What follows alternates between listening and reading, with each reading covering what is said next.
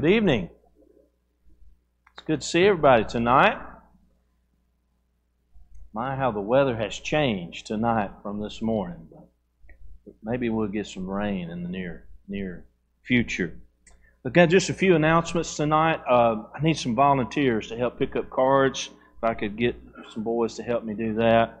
Um, just a few announcements here uh, as we get going. Appreciate all the men who were able to come for our meeting this afternoon. Uh, we had a great meeting with lots of input, and uh, just want to really push this uh, evangelism seminar that we have coming up. Just think it's going to be a great growth opportunity for uh, all of our, our congregation. Uh, as we've been announcing, we've got Rob Whitaker coming, who, who works with House to House, Heart to Heart, and uh, he'll be here with us on Sunday. We'll have a regular day as we normally would with our Sunday morning and our Sunday evening service.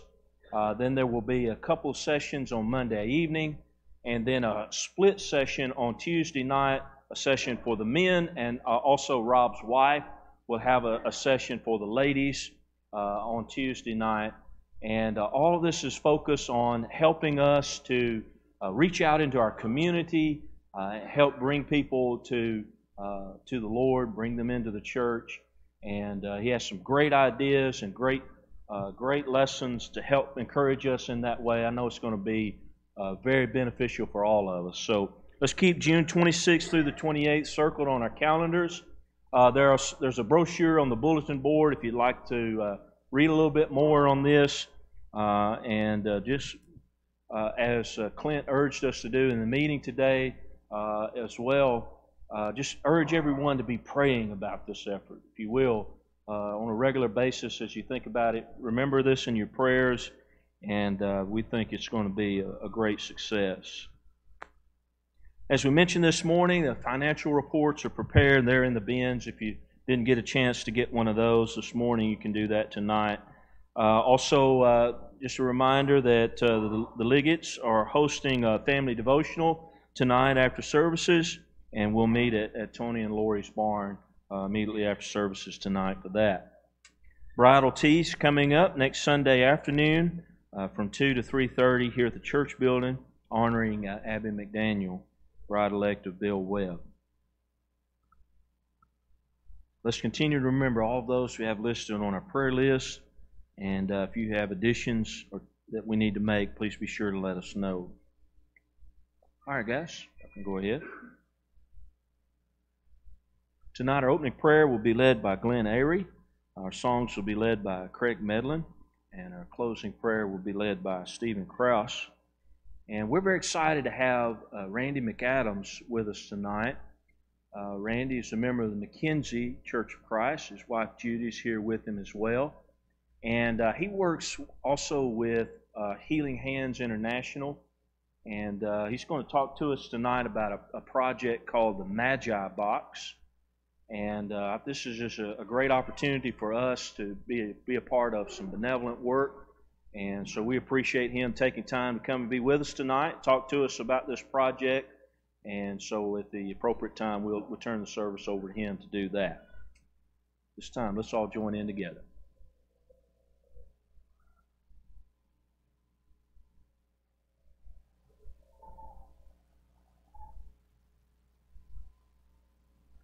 Let us pray together. Our holy and heavenly Father, we thank Thee, Lord, for this day that You have given us, this first day of the week, in which we have been allowed to gather here and to offer our worship unto Thee. We pray, Father, that each time we are given this opportunity, that we would be mindful of what a joy it is and what a responsibility that we have to get together to do this, to encourage one another, to exhort one another in the faith we thank Thee, Lord, for the design of the church. We thank You, Father, for Your Son, who is the head of this body. And we're thankful, Father, for His life, for His sacrifice, for His example, and for the gospel that He has helped to usher in through His apostles. And Father, we pray that we would be mindful of the soul that each one of us possesses. We pray, Father, that we would think often about eternity. We think, we pray, Father, that we would prioritize those things that come about in our daily lives. That we can have the time and set aside the time that we ought for Thee and for Thy service. Father, we ask for Thy strength in this in our daily walk. We also ask for your forgiveness where we fall short, as we do often. Father, we pray that as you build us up, that we would be mindful of others who are in need of the gospel. We thank Thee, Father, for opportunities about which we will hear tonight to reach out into the mission fields that are around us, to help others who are in need, to be of benevolence as we have been taught that we should be, to be compassionate of others to give to others as you've given to us. We ask, Father, for the work of this church to continue in a great way here as we are planted here to do thy will. We pray that our light shines forth in this community. We pray, Father, that the church shines forth in this world of darkness, and that you will, we know by faith that you will always guide her and protect her. For that, Father, we are thankful. We ask, Father, that you would bless Brandon Eli and the works here, bless Brandon and his family, and we ask, Father, that you would continue to be with us in those things that we break forth, that we might always stand behind thy word, and that the truth that is proclaimed here would be taken and grafted into the hearts and minds of those who hear and who see that lives and hearts might be changed. We ask thee, Father, that you would bless our country, continue to bless those in leadership here and throughout all the world. Bless those who are suffering at this time in war efforts in the Ukraine. And we pray, Father, for all of those who are in need of our prayer on our prayer list, for those who are suffering of our number. We ask, Father, that you would be with us as we go about further parts of this service this night. Father, help us to set aside the things that might otherwise be upon our minds, that we can sing these songs, listen to these words, listen to the lesson that's prepared for us to think about and to be of service to others. In Jesus' name we pray. Amen.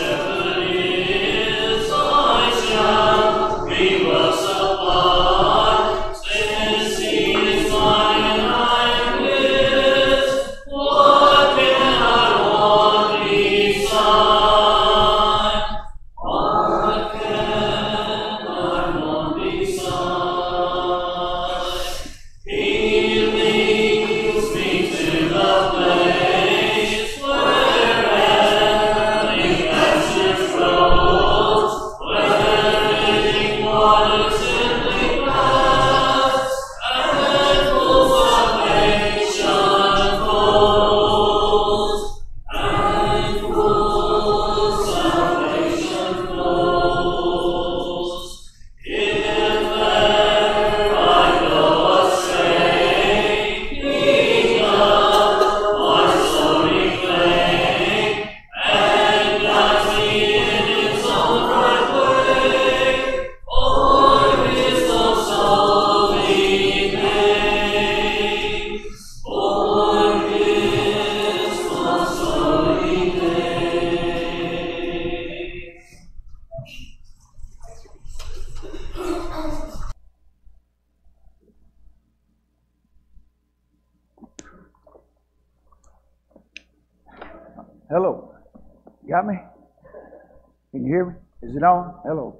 lost a little little button there. Give it to me, I'll break it. Thank y'all so much for allowing me to come and be with you tonight. And uh, I've, thanks to Miss Peggy Finch that she is involved with Healing Hands doing a sewing project with them and donating her time. So I worked through her and she talked with the elders and they uh, agreed to let me come and talk to you about the Magi Project. And I won't go into the boxes here formally, but afterwards, if you want to come down and look at these boxes, that, we sometimes refer to them as boxes of love.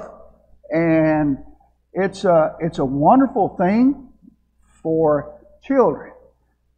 But we'll go into that here in a minute. And I've been involved with Healing Hands International since about 2004. The McKenzie Church has been involved with these boxes of love since about 1999. And they started in 1997. Healing Hands International is a humanitarian disaster uh, relief kind of organization that works internationally, not in the United States particularly, but internationally. And they are supported 99.9% by the churches of Christ around the United States. And they started this as a project with David Lipscomb's students, marketing students, many years ago. And the teacher, who was the president of Healing Hands International, Randy Steger, gave them a project of what to do, how can we reach out and help children in the world. And some students came up with this thing. But uh, I've, I've been a member of the McKenzie Church for many years.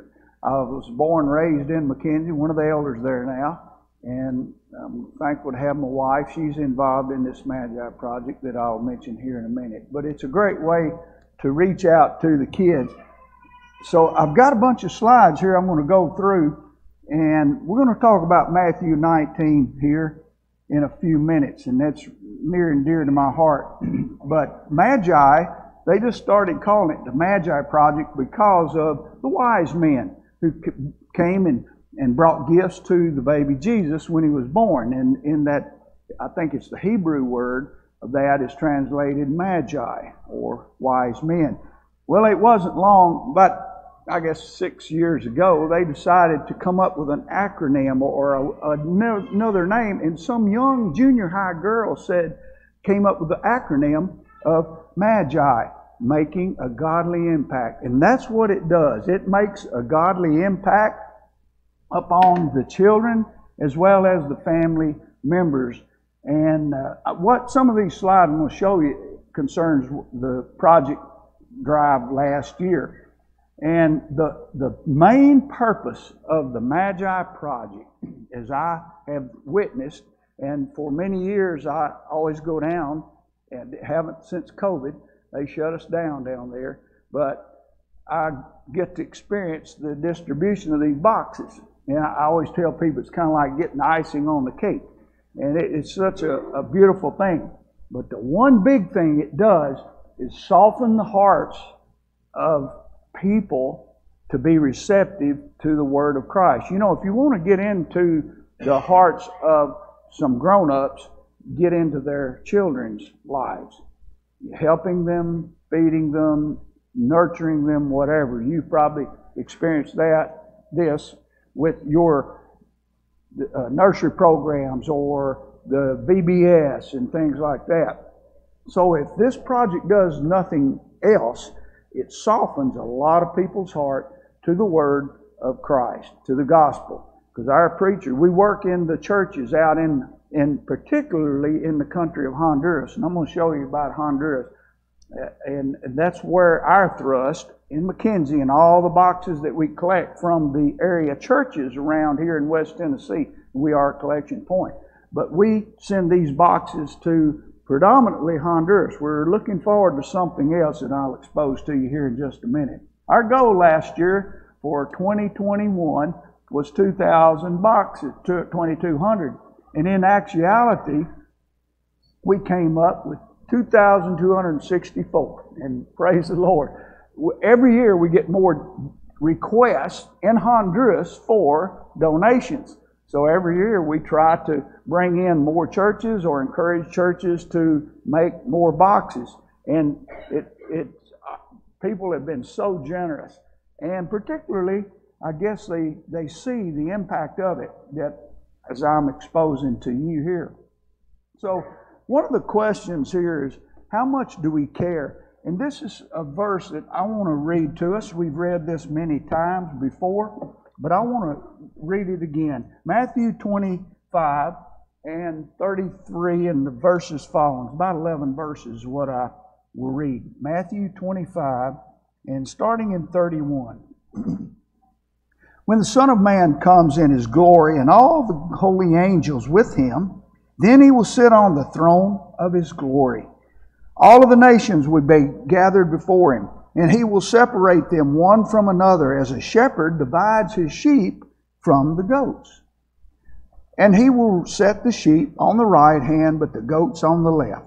Then the king will say to those on his right hand, Come, you blessed of my Father, inherit the kingdom prepared for you from the foundation of the world.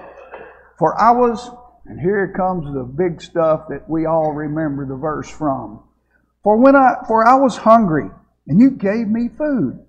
I was thirsty and you gave me drink. I was a stranger and you took me in. I was naked and you clothed me. I was sick and you visited me. And I was in prison and you came to me.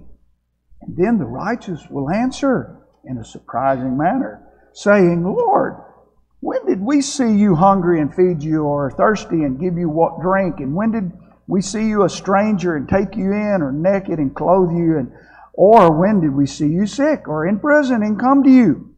And here's the power pack, the big punch that punches my heart every time I read it. Verse 40 And the king will answer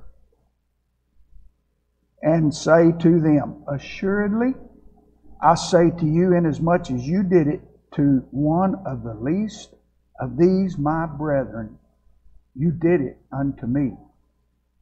So, how much do we care? How much do we show our loving care, not just abroad, but here to our neighbors and all of that? So, I really take that verse serious and I apply it to this project, Magi Project. When we, when I talk to other brethren and, and my own brethren, encourage them, encouraging them to get involved in this because we're showing how much we care. And, and that story right there really slams me to to be more active in reaching out to other people and doing as much as I can.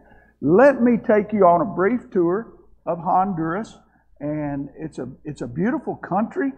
It's uh, been called the country of immense beauty and immense poverty, and it's considered to be Central America. You can see the, the arrows there of the United States, and if you drove a car down from through Mexico and you'll come into the country of Belize, depending on your route, and then Guatemala, and then comes Honduras. And Honduras is kind of a diamond shaped land that is bordered on the Caribbean Sea and the Pacific Ocean, eh, or the Gulf, whichever you want to refer to it. And it's surrounded by these countries, as you can see Guatemala and El Salvador and Nicaragua. And we have worked in all of these countries, or I have, but Tegucigalpa and Honduras, the area around the capital of Tegucigalpa, is where the thrust of these boxes go to. It, Honduras is considered one of the poorest nations in our world. Now that's surprising. It is one of the Americas, but it is a highly impoverished country, which the poor of the poor, where we reach into, are super poor. And uh, that's one of the things. But the beauty of it is it's amazing. It's kind of a, it's uh, volcanically created, I guess, many, many years ago. And it's a plush country of green. Temperature moderates somewhere between uh, maybe in the highlands it might get down to 60 and they're freezing to death when it's 60. It's about like when it's 10 degrees here. But somewhere around 75 to 85 degrees is all it, it changes. And they grow food in their yards of pineapples and coffee and so on and so forth. But it is a impoverished country. This is one of the houses that we found and delivered Magi boxes to. Had to drive a ways and then walk a ways carrying the boxes. And this is a and a common house that you'll see in the ultra rural area. They just build it out of mud and sticks the best they can. You can see the numbers there, possibly, if not 65% of the people there in this country live in poverty. Now, that's a 65% of poverty. And then you come on up, and one in five of the people in Honduras live in extreme poverty. We come on into this next level house. I kind of broke this up into the, the lower class, middle class, and upper class. Really, there is no middle class down there. They're either poor or they're rich. But this is kind of a house you would see of, of a, might be a blue collared worker that he works in agriculture, maybe makes $10 a day, and he's glad to get it. And then you'll come on and you'll see these type houses in rural areas, and they're both made out of adobe, but this guy here in this pink house, he has gathered enough money that he can put a concrete floor in his house and he'll stucco the side and put paint on it. And when you put paint on your house, you're really somebody because they don't, you just don't have a lot of money to waste on paint. So that's kind of the, the level. You see that poor, poor, and then the middle poor, and then the upper poor. And either way, they scratch out a living the best they can. The living conditions of their homes are, are it's very culturally adapted to the temperature and the climate, and a lot of it is open air. And this is the, a, a very common kitchen type of what you'll see. It'll just be a lean-to, and their little adobe stove will be out there in the open air. And the dogs, I, I say the hog, dogs, ducks, and chickens help you cook. And the first year I went in 1998, I retired out of the Army National Guard. I worked full time for them, 33 years. And we were in 98. And I went back in 99 to visit this family. I left a piece of my heart down there, so I go back every year I can to look for it. And I was sitting there in this, this family, and they were very poor people, no electricity and no running water. And she was cooking breakfast, and there was a cat sitting up on the windowsill. Now, this is just the old window is open, watching her cook my chicken, my fried chicken and eggs and rice and two dogs were sitting at my feet waiting for something to fall off my table, and the chickens were pecking up some of the little crumbs of the of the bread or the tortillas as she was cooking it, and then here comes a hog walking through the kitchen, and and that's where I've coined that the hog, dog, ducks, and chickens. So they cohabitate quite frequently, but they're in a clean way by their standards. This is a typical stove that you'll see down there. They make it. It's wood, and they'll poke the fire in if they want it hotter. They'll just stick more wood in the throat of that. That this is this is called a Lorena stove, by the way, and they'll just turn up the temperature, and she can boil. She can boil water and cook on that top as good as you can on your Maytag or whatever it is. They're excellent. Again, they have just adapted to this and do a good job. They are survivors. Most of the roads out in Honduras, in this rural area, you'll be mud or gravel, and they just maintain them. I call this a Honduran tractor. This is a John Deere tractor in Honduras in the rural areas, and it's ox cart, and you might see a little eight, nine year old boy walking a big old bull ox or a Brahma bull dragging a log or something. And, you know, we wouldn't let our kids get near them, but they just adapt. And this is a Ford F 150 right there. And this is a Ford F 250 diesel. And this is, this is typical. This, I'm not making this up, but if you go into the rural areas of Honduras, these are their major commodities of survival.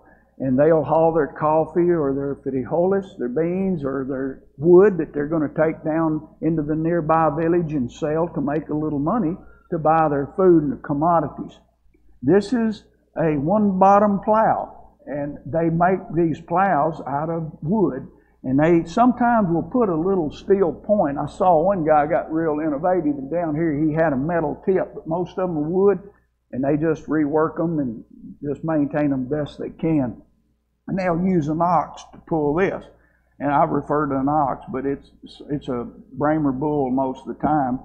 Coffee is a big commodity. Coffee and bananas in Honduras, and this is your typical coffee tree. And when those berries, that's ready to pick, they'll pick those berries, and then they have machines that'll hull them, take the the seed out, and then they will air dry them just out on a concrete pad or a clean dirt pad, and then they sack them up and take them to market by horses or vehicles if they have a vehicle. Every little village down there will have a Catholic church. If it's a, a, a, a village of any substantial size, I'm saying 100 people or more, they will make a type of structure like this. They are steeped in Catholicism. But ironically, if you ask them, what does it mean to be a Catholic? They probably can't tell you because it's just been since the Spaniards invaded back in the, I guess it would have been around the 15, middle, late 1500s, and they, the Spaniards brought in their Catholic beliefs. Well, it's, there's ones, staunch Catholics there, but most uh, in these rural areas, they just go by title. That's just what I've always been called. But the structures are beautiful and they're old. And they have a lot of beautiful old people.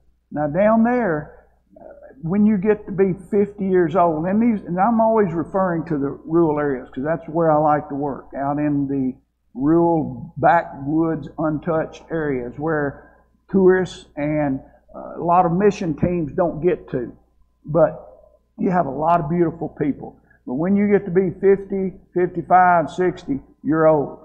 You've worked hard all your life. The weather's been tough on you, and uh, life just kind of has a way of knocking them down. But nonetheless, they're beautiful people. They are. But in this whole process, it's all about the children, what this Magi project is. It's all about the children. It does soften the hearts of men and women to the gospel of Jesus Christ. But in my heart, and the big one of the big intents are, is to put joy into the hearts of these children that otherwise at Christmas time or whenever the boxes get delivered to them, it just these things they don't have there. They don't have the money to go to town and waste their money on these little nice things that we put in these magi boxes. Excuse me. And so that's why I say it's all about the children. This next verse, it really, I still ponder upon it every time I read it out loud to congregations or read it myself. Then little children were brought to him, Jesus. that he might put his hands on them and pray. But the disciples rebuked him. Now that, that really grabbed me right. You mean they stopped the children? But yes, the disciples rebuked them. And no telling what they said. Get away. He, Jesus doesn't have time for children. But what happened? Jesus said, Let the little children come to me. I would love to have been able to hear how he said it. Let the little children come to me and do not forbid them. Here's the power punch to me. For such is the kingdom of heaven. Such a, and I pondered, what did he mean deeply? Uh, and I think he said that in a way to make us really have to think and struggle. What, what did he mean? You mean the kingdom of heaven is going to be filled with uh, thousands and millions of little munchkins? I don't think so. But it's something about the hearts of these little children that Jesus was trying to tell us about. Something about their character. Maybe it was the, how they can forgive and forget, and us adults can't. I don't know. But the bottom line of it is that Jesus, I think, loved children. And there's something special about them that you and I need to pay attention to, or he wouldn't have said that. And I've just often wondered what the disciples think. They say, Oh, I'm sorry, Lord. But children are special. So now I want to just kind of take you on a parade of slides to show you some of the faces of these little children. And these up and close pictures, every time I see one, my heart just kind of gets a little fuzzy about it. And I, all, most 99% of these kids I, I know or have known, they some of them grown up. Some of these pictures are maybe eight years old. These are a pair of little twins that I stay in their house every year that I go down there. They're twins, and uh, Alexandria, Alejandria, and Kimberly. And when when gringos come around, we're a novelty. Sort of like the circus is coming to town, you know. and, and some of the little ones that, that where I have gone into, into the remotest areas, had never seen a, a bald headed white man, I'm a novelty. I've had them come up and want to rub that thing. You know, you don't see many bald headed Hondurans. They, they're blessed. But this is a little girl that I met. Uh, she's 13 now, but she was just a little infant in her mom's arms. And we were holding church service in the front yard of one of the ladies, one of the sisters. And this little girl here, Angelique is her name, and she was on her mama's shoulders, and I sat behind her. And she couldn't take her eyes off me. Again, I was probably the first bald headed white man she'd ever seen. And I'd move around, them eyes just stayed fixed. And I started making faces and playing with But now she's my buddy. She's about 13 years old and she's a sweetheart. But let me do this, and I want to talk to you about how we make these boxes. In McKenzie, there's several ways that you can make them. And as you can see, we, we kind of set up a buffet style. My wife has a team of ladies, and they will, there's a laundry list of suggested items that Healing Hands has on their website and you buy these items and you put them in the box. Well, what we have found for us that's most effective is we take the monies, donations, and the church puts in a big chunk there, and the ladies go out and buy each different item of this the toothpaste, the toothbrushes, the, any of the toys, the hygiene articles, soaps, and dish rags, t shirts, on and on and on. And then we will lay them out for on a particular week, and we let all of the members of the church, from down to the pre-K, we have a, a preschool also, and from all of the pre-K kids on up, they will come in and they will get a box, one of these boxes. And by the way, the boxes are free from Healing Hands International. And I take orders from all of the churches, and I go to, to up there and pick them up and then bring them to you. And they're unfolded flat, but you fold them together. And so each one of the little kids will grab a box and go down the buffet line, and someone will put one of the articles. And it, we do that all the way up to what we call the prime timers, the old folks like me. So everybody gets to get their fingers on this box. and be a part of it. And for me, the big, the special part is when our children, the little pre-Ks on up into the youth group, get to do this. And they see these pictures. I've presented this to the congregation many times, these, these slides and reports of Honduras after we would go down there. But they get to get involved in it. And that to me is it makes it more super special. Our kids helping their children. And that's good. So what we do is, for example, this congregation, if you decide to do this, you'll make your boxes up and you'll either deliver them to McKenzie, which we are a collection center for West Tennessee, or I'll come and get them. Offer free delivery or free pickup, whatever. And you'll come and uh, deliver the boxes over there, and we store them in our hallways.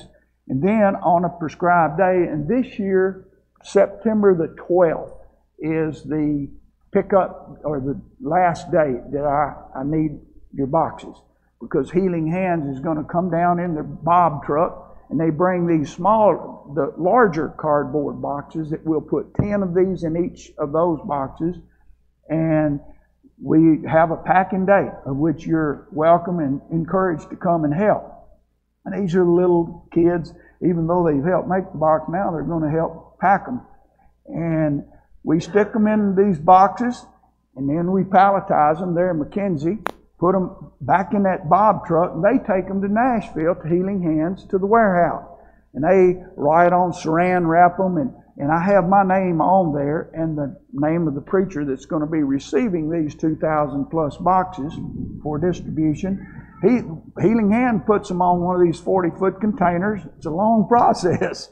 And then it's taken down to the railroad station. It's about three miles from Healing Hands warehouse. They take them on the railhead down to the shipping port, Mobile or wherever it's going to be. Sometimes it's the East Coast. And they put them on a slow boat to Honduras. And in about two weeks, they arrive in Honduras offload that container full of these boxes, pick up a semi truck, takes the container all the way down into southern Honduras, Choluteca, where we have a, another brother that has a big church mission called Mission Lazarus, and he kind of helps distribute all of them. Then they will separate our boxes from theirs. And, and by the way, Healing Hands will send somewhere around 20,000 plus down there. We send them to Africa, Mexico, some in the United States, and Romania and, and countries beyond. But they separate mine that are in my particular area of Honduras, put them on another truck, and ship them back up north to central Honduras, put them in a church building there, and then the preachers there start distributing them out. And it's, it's a long process, but that's, we, we found it to be very effective and uh, they get down there. They don't always make it to Christmas. We try to get it in the Christmas season, but we still today have some boxes that have not been distributed out. I think he was going to do, finish it maybe last week, but it doesn't matter to the kids. We like to get them there by Christmas, but sometimes customs down there is I won't say corrupt, but they're sometimes not nice. And they will impound our container because something is out of line. Because when they impound your container, they charge you a, a duty fee, a fine, you might say, each day, and they make money. And they look for bribes, and Healing Hands do not take bribes. And so that container may sit there a month just waiting on somebody to decide, yeah, let it go. We reach out to 31 plus now churches and schools some of the villages where we have preachers preaching, we will let give them boxes to go into some of the schools. These schools may not be but 10 to 20 people, t- children. But we feel like that's a good teaching, a reach, outreach tool. And again, softening the heart.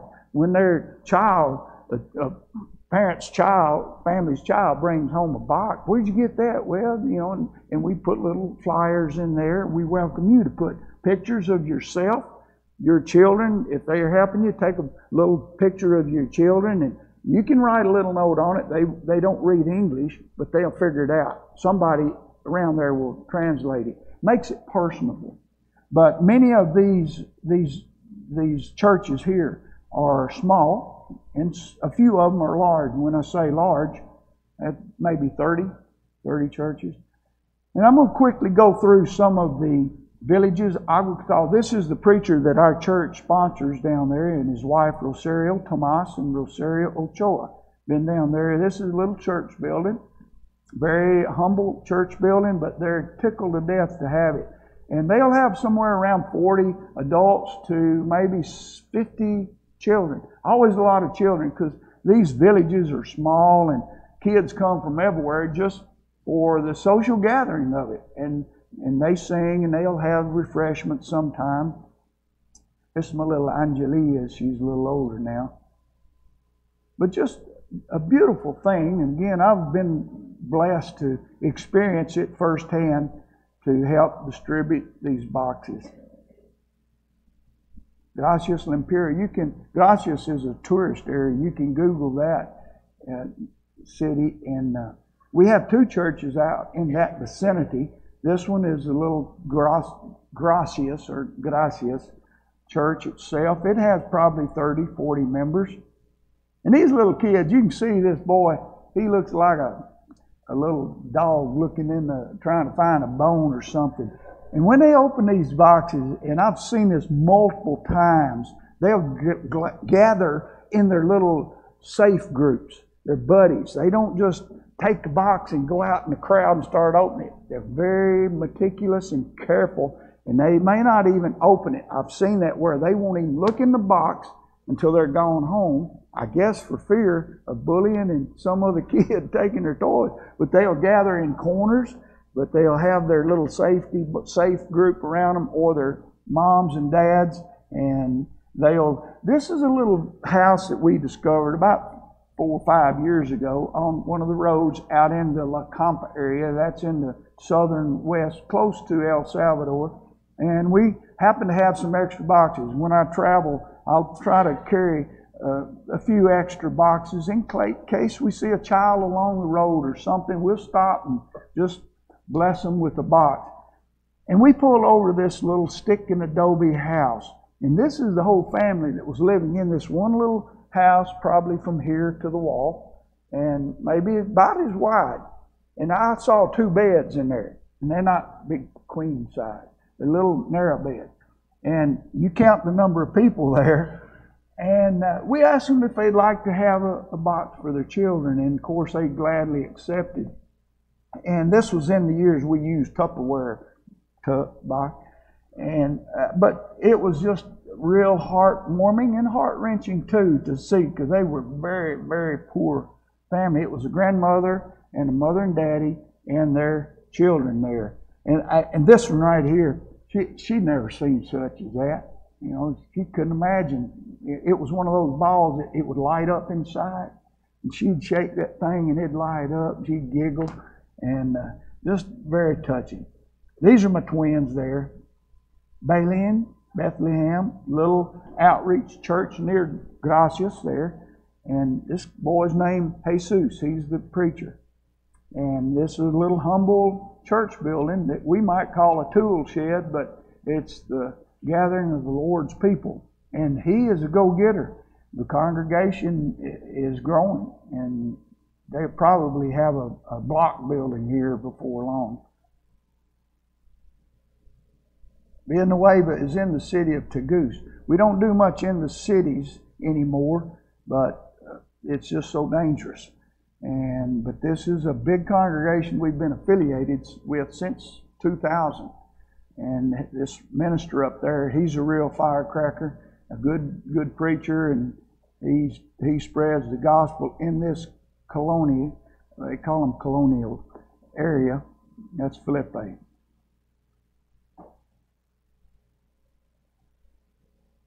I call him a little preacher. Felipe said he's that's what he said he's going to be. I want to be a preacher.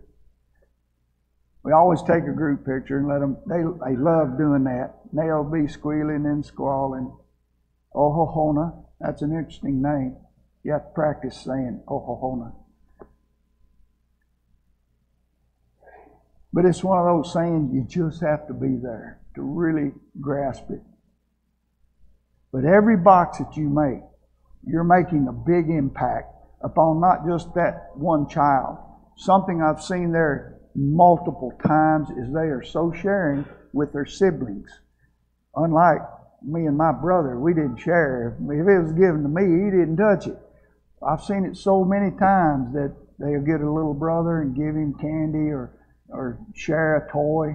And uh, I guess they're so used to not having anything that just something that had been ingrained in them all their life that we have to share to survive.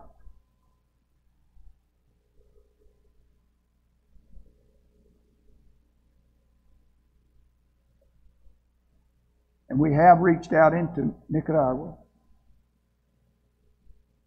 This is a shoe shine boy. That's how he made a living for his family. He shined boots and did a good job. La Cienega was an area, this is another one of those Ford F 150s, and loaded her Magi box, and her daddy was going to lead her home in the mountain. This little boy named Dennis. Denny, Dennis. Dennis. Every hair on his head grew in a different direction. And you know his teeth, but he was a sweet boy. He's a little older now, but he'd come up and talk, try to talk to you. And they all hold a special place in my heart because I've experienced so much of life with them. And you can too, indirectly, and I'm always happy to come over and give reports. This church in Agua Catal, where my preachers, our preacher uh, works and work, they have started a new church on their own. And they have planted a church on their own. And that just excited us so much. And it's about five miles away, Los Encinos. So this is a new congregation that we'll be reaching out to. And they're probably around 15 members now. They and the way they built it, we didn't help them except when they wanted to pour the concrete. They assigned each family to make so many adobe blocks. And so the families went home and made adobe blocks. And after they were cured out, they brought them to the church site and they stacked them. And when they had enough adobe blocks, they got the members together and they came and had a, had a house raising. And I, I just thought that was so, so neat that we didn't have anything to do with it. We helped pay for the concrete, but that was it. And they did the rest themselves little by little. We hope and pray this next year we're going to reach out into the Navajo Nation in Arizona. This Kayenta is west of Monument Valley, if anyone's ever been out there. And I had the privilege of working out in the Navajo through Healing Hands in agriculture. That's what I work with in the agriculture side of Healing Hands, all over the world, in fact. But when I reached, we went into that Navajo reservation. I've always been a Cowboys and Indians fan. I, I was really stunned at what I saw. If you drive through Kayenta, and it's kind of a crossroad between Flagstaff, the Grand Canyon, and Monument Valley. So if you go out west, there's a good chance you're going to go through Kayenta. Well, you'll think it's a pretty nice little town. It's kind of rich looking and people doing well. That's the wrong thing. You're not seeing the truth of it. They're, the Navajo and all of the Native Americans in our country, the United States of America, are highly impoverished, drugs are rampant, diabetes, and that's why we were out there trying to teach them to grow good nutritional foods. Diabetes is rampant, uh, obesity, and it's just our Native Americans are wrecked. And these churches, there are a sprinkling of churches reaching out into these reservations. And so through my contacts there, we're going to hopefully use these boxes. And those, those Native Americans are still culturally ingrained with the old traditional Native American religious religions of the, the, the medicine man. He, he tells, he comes out and does his rituals if you're sick, and you go to the medicine man for wisdom and seeking visions.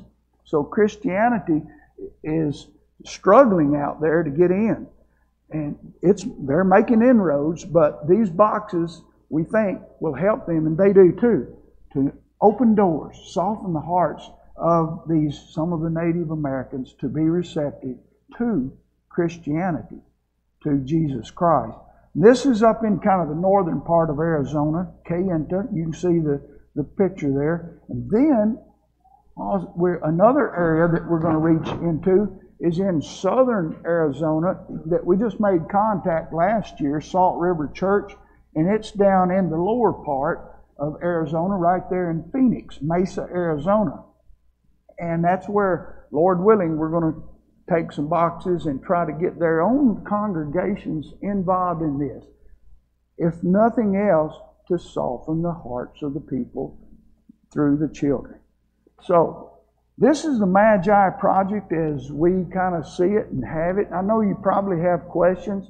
I'll be down front here, and my wife will if you have questions about how we do it and orchestrate the, the gathering, the purchasing of items. You can go online to the hhi.org and you can read information about the Magi project, and that's where the list is the, of suggested items. I encourage you to do it. Th- whether you do it or not, thank you for allowing me to be here and expose you to it. And whether you do it this year or the next year or whenever, uh, just uh, if you if you can do it, it'll be a blessing to a lot of children that otherwise will have nothing, and the potential of spreading the gospel of Jesus Christ. But thank you so much. This last verse, I want to I want to tell you, I've read this many times, and you have too. And hopefully, you got shook by it before I did. It took my old hard head a long time to really grasp it. And I guess it, it really took, took seed in my heart after I started going into these developing countries of Africa. I've worked in, in several countries of Africa and Afghanistan and Europe and doing agricultural work through Healing Hands for the cause of Christ. But I read this John, 1 John 3.16. Easy to remember where it is. Everybody knows John 3.16. Well, just put a 1 in front of it and turn to 1 John 3.16 and 17. And you read this. By this we know love because he laid down his life, he, Jesus, for us. And we also ought to lay down our lives for the brethren. Just that's love. That's just love. But here comes the, the punch, as I say it. But whoever has this world's goods and sees his brother in need and shuts up his heart from him, how does the love of God abide in him? And man, that caught me. And that last part, my little children. There's that children thing that we read earlier. My little children, let us not love in word or in tongue, but in deed and in truth. Now you ask yourself, do we have the world's goods? We sure do. Now I know it's pretty, it's going away fast with high gas prices and our current conditions. But Ladies and gentlemen, we are filthy rich here in this nation. It's still the best place to be on the face of this earth. And I've been around the earth. I haven't been to Australia yet, but I've been up and down the continents and of different countries, and I always want to come back here. We are rich, we are blessed, and we have the world's goods. So what are we going to do with these world's goods? And we and and I, I want to conclude with this: you don't have to get on a boat or a plane to do mission work. You know that. Your neighbor, it might be a mission field across the street from you, or down the street, or in a neighboring town. But that verse right there just really, really caught me. So I'll conclude with offering an invitation, as we always do. I'm sorry. But maybe something tonight has, has stirred your heart. If you're not a member of the, the church of Christ, Christ's church, then we always encourage you to do that. Become a member of His blessed family.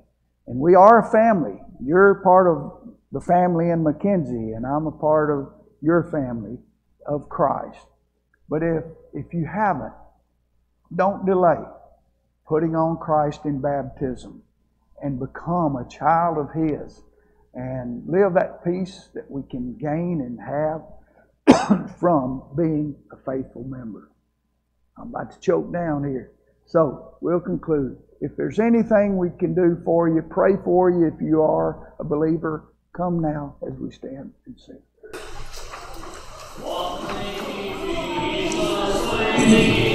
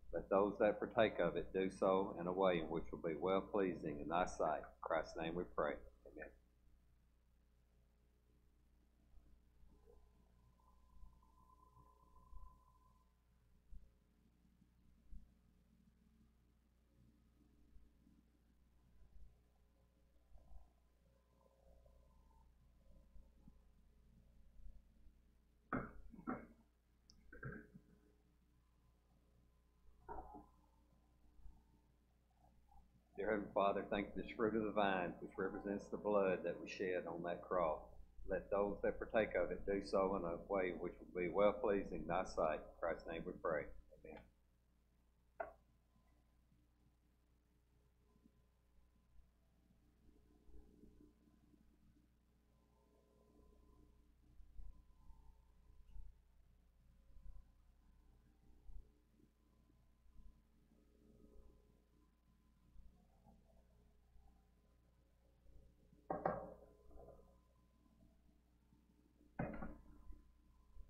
Would you please stand to be dismissed?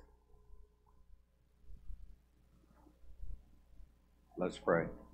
Our most gracious dear Heavenly Father, thank you for this day and thank you for all the many blessings in which you have given unto each one of us.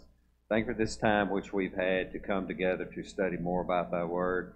Dear Heavenly Father, thank you for the one that's come our way tonight, delivered this message, and the good work that he is doing. And continue every day trying to help these kids and families in foreign countries. Dear Heavenly Father, may we take this lesson which we've heard today, this morning, apply them to our daily lives. May you be with the sick which were announced, and forgive us for our sins, and go with us till we meet again. In Christ's name we pray. Amen.